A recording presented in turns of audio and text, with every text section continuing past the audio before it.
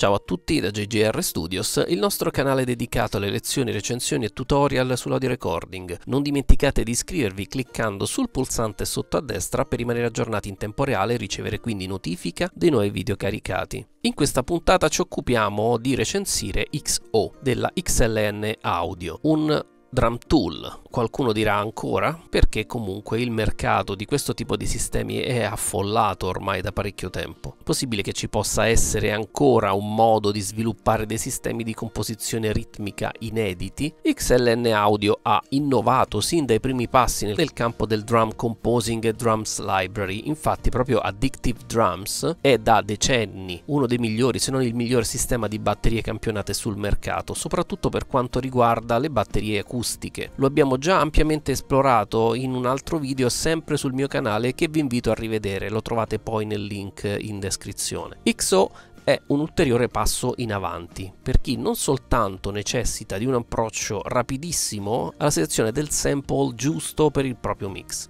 ma anche e soprattutto necessita di un sistema immediato di caricamento di loops in stile stylus, in cui però pescare samples dalla libreria di Addictive Drums o dai propri samples che ora possono essere inseriti nel mucchio e salvati in un preset. Alcuni principi dell'interfaccia di Addictive Drums sono stati riportati in maniera sintetica in basso nell'interfaccia, come i filtri di inviluppo, l'accordatura, il pen e l'FX Sense, eccetera, eccetera. Possiamo quindi immediatamente partire dall'esplorazione rapida dell'interfaccia partendo dal centro, proprio particolare e stranamente simile a quello proposto già da Uvi nel suo Spark Verb, sempre già recensito su questo canale. Ci appare quindi una nuvola colorata in cui cliccare a caso per arrivare ad un suono che stiamo cercando. Ad esempio la cassa. O il rullante che troviamo in questa zona.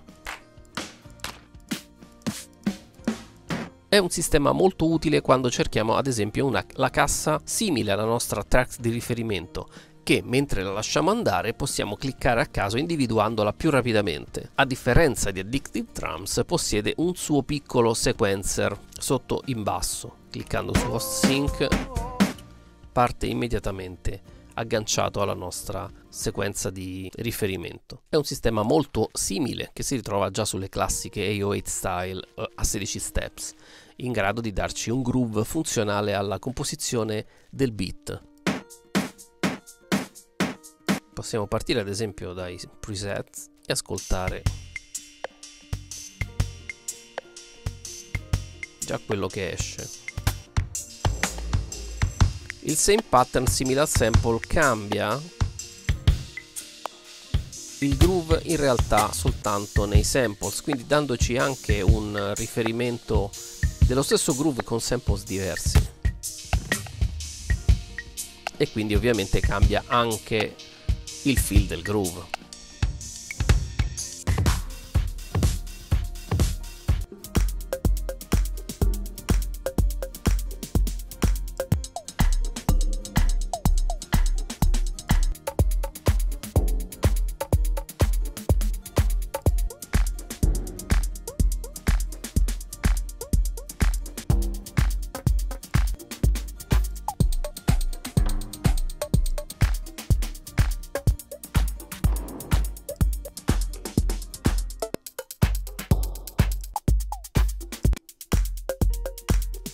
Tornando invece in questa sezione Space, ogni volta che andremo a cliccare su un samples, la funzione similarità ci permetterà di individuare quelli più simili anche riguardanti non soltanto il kick ma anche lo snare. E quindi cambiamo il secondo kick ad esempio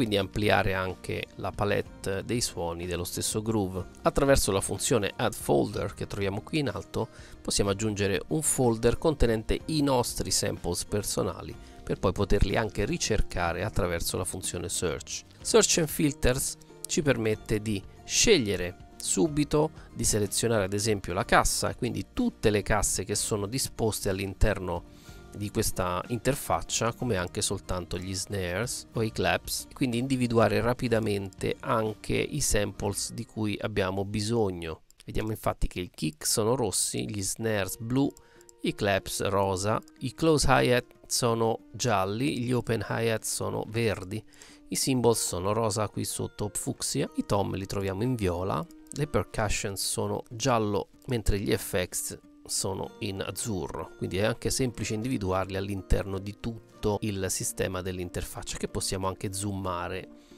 e quindi raggiungere più velocemente all'interno della stessa interfaccia. Nella sezione Edit Page che abbiamo visto poco fa possiamo ascoltare il groove che abbiamo scelto in suddivisione quindi anche nel sequencer pattern che abbiamo qui in alto e modificarlo eventualmente. Questo è molto simile al sistema che utilizza UVI. Sempre in questa interfaccia troviamo la possibilità di lavorare direttamente sui samples quindi modificarli anche nell'attacco e nelle curve dei fade per poter interagire ancora con le curve di inviluppo il pen e tutti gli altri parametri relativi al sample singolo Attraverso invece l'opzione Bit Combiner possiamo scegliere di combinare i diversi bit delle varie parti, quindi dei pezzi della batteria, ad esempio il kick, lo vogliamo in questo modo, secondo kick, rullante, pure, e quindi o trovarci anche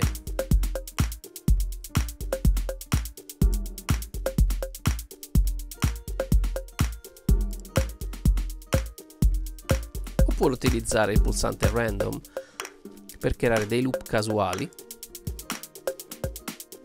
o attraverso la manina selezionare tutto il loop e quindi ascoltare le varie combinazioni già preimpostate per trovare quella più gradevole.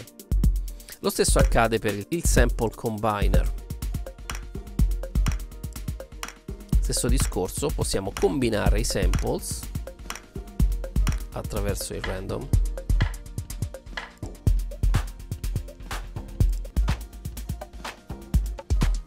questo fa riferimento al similar, alla similarity che abbiamo visto prima nell'interfaccia principale però suddivisa già per tutti i samples.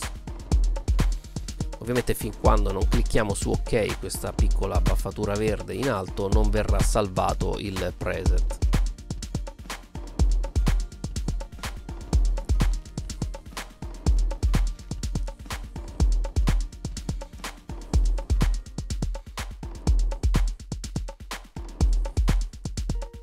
Una volta composto il tutto possiamo esportare sia le singole tracce sia le tracce MIDI. Dal pulsante Export selezioniamo un path su cui poter esportare, ad esempio nel desktop faremo una cartella XO, questo ci viene chiesto la prima volta.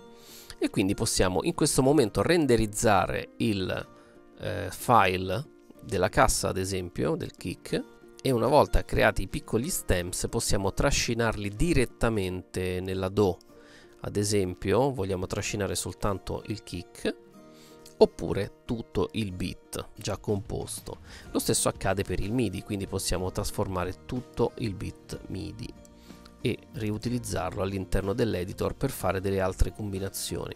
Una, se volessimo invece esportare tutti gli stems direttamente prendiamo questa sezione e automaticamente vengono creati tutti gli stems dei singoli samples lo stesso accade per il process o per il raw. La qualità di questo nuovo drum tools è di questo nuovo drum tool è sbalorditiva, una compattezza ed una pulizia molto rara rispetto ad altri sistemi di questo tipo analizzati finora. L'interfaccia è a prova di producer, si riesce a creare velocemente il beat anche soltanto andando a caso fino a rintracciare quello che ci piace. È come aver riunito la qualità audio di Addictive Drums con la semplicità di utilizzo di stylus e di UV. Ho tardato un po' a fare questa recensione a causa dei lavori che stavo chiudendo in studio e che non coinvolgevano l'uso di drum tools, ma finalmente posso dire di aver scoperto un sistema efficace e di qualità eccelsa nel marasma delle librerie per Bit Creation. Viene venduto in due versioni, una light da 2000 samples a 119 euro ed una completa da 8000 samples a 179 euro, che inoltre esporta nei vari formati FLAC, MP3, OG e WMA rispetto alla light che esporta soltanto il WAV e la IF. Nella versione completa possiamo inoltre usufruire degli 8 bus aggiuntivi di multi-out, oltre altre features di esportazione. Il mio consiglio è di scaricare la demo, provarlo sui vostri arrangiamenti e decidere di acquistarlo o meno. Spero che questa lezione vi sia stata utile, vi aspetto ai miei seminari al corso professionale presso il mio studio nei corsi online, dove gli argomenti vengono trattati in maniera semplice ed accurata. Verrete a contatto con le mie tracce, affronteremo i vostri mix insieme e li finalizzeremo nella fase di mastering. Continuate a seguirmi su Facebook, YouTube e Music Off. Non dimenticate di iscrivervi cliccando sul mio canale in basso a destra. Ho anche aperto un account Patreon per poter raccogliere piccoli fondi a sostegno di questi video gratuiti e che vi dà accesso ad altri contenuti esclusivi dedicati dedicati solo agli iscritti a Patreon. Per il momento è tutto, ciao a presto!